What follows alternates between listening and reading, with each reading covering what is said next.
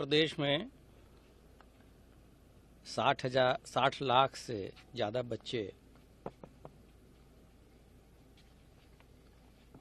लगभग दस पालियों में परीक्षा देंगे।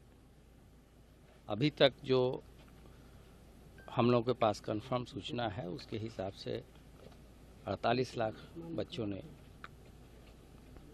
के इस परीक्षा में शामिल होने की के बारे में ज्ञात हुआ है और प्रदेश के सड़सठ जनपदों में ये परीक्षाएँ पाँच दिनों में, दो दो पालियों में संपन्न होगी। आज प्रथम पाली की परीक्षा चल रही है।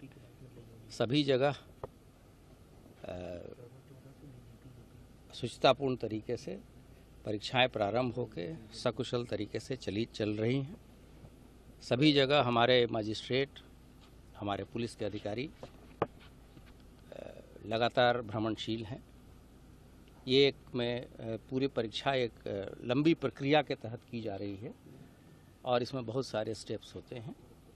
जैसे प्रश्न पत्र का भंडारण, फिर वहाँ से सेंटर पे पहुँचाना, यहाँ बच्चों को का आधार प्रमाणित करना और उसके बाद से सुचारू रूप से परीक्षा कराना।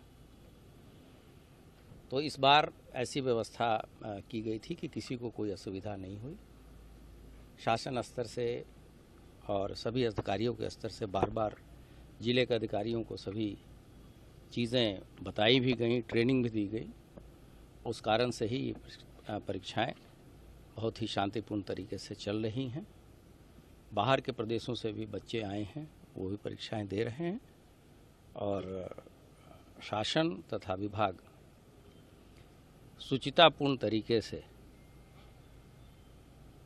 और एक स्वस्थ प्रतिस्पर्धा के तहत मेधावी बच्चों को लेने के लिए संकल्प है, जिनको आगे आने वाले 30-35 साल तक विभाग को सेवाएँ देनी हैं और विभाग के साथ साथ जनता की सेवा करनी है ऐसी स्थिति में जो लोग मेधावी हैं और मेघा, मेधा का ही सम्मान किया जाएगा और जो लोग